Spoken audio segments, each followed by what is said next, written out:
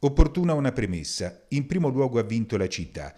Dopo un periodo di assenza forzata per le ragioni che tutti conosciamo, la giostra è tornata ad animare la vita cittadina come ai tempi migliori. Già questo è un traguardo importante che riporta quel clima di normalità che l'emergenza sanitaria aveva stravolto. In piazza ha vinto Porta Santo Spirito, il quartiere della Colombina, dato come favorito alla vigilia, tiene fede ai pronostici e si aggiudica la lancia d'oro. Gli sono bastati otto punti per vincere la 141esima giostra e raggiungere quindi Porta Crucifera in cima all'Albo d'Oro con 38 vittorie. Detto di una serata nella quale musici, sbandieratori e figuranti hanno saputo esprimere il meglio del loro repertorio, riviviamo in rapida sequenza l'andamento delle carriere. È l'esordiente Francesco Rossi ad aprire la piazza per Porta del Foro. Una carriera con qualche difficoltà iniziale che il giostratore cerca di correggere prima prima dell'impatto con il buratto. Il tiro si ferma sul 3 e mette subito in salita la giostra del Saracino per la chimera. Per Porta Crucifera è ad Alberto Rauco a scendere al pozzo per primo.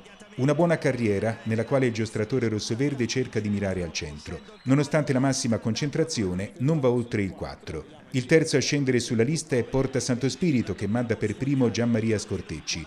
Il giostratore della Colombina, confermando le sue qualità, punta dritto al centro del tabellone e lo colpisce. Per i giallo-blu è un 5. L'ultima carriera della prima serie è uno dei momenti decisivi della giostra. Sulla lizza va Saverio Montini per Porta Sant'Andrea, il cui esordio in piazza è sfortunato. Prima il cavallo si ferma e solo perché non ha superato la linea con tutte le zampe non determina l'annullamento della carriera.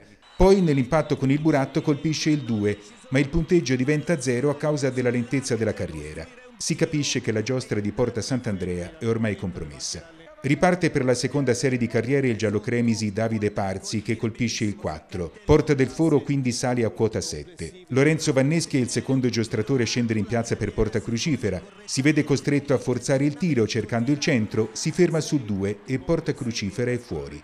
A Santo Spirito basta il 3 per ipotecare la giostra. Per Elia ci cerchia niente di più agevole e non sbaglia. Solo la rottura della lancia potrebbe tenere in giostra Porta Sant'Andrea, ma la più bella carriera della serata, quella di Tommaso Marmorini, non basta. Il giostratore biancoverde centra un 5 che vale gli applausi del suo quartiere, ma senza incidere sull'esito della giostra. Porta Santo Spirito quindi con 8 punti vince la lancia d'oro dedicata all'Istituto Tevenin. Nel quartiere giallo-blu è festa, sia in piazza sia dopo, con il Duomo che si tinge dei colori della Colombina e con la festa dei vincitori al loro rientro a casa. Per la rivincita, appuntamento a settembre.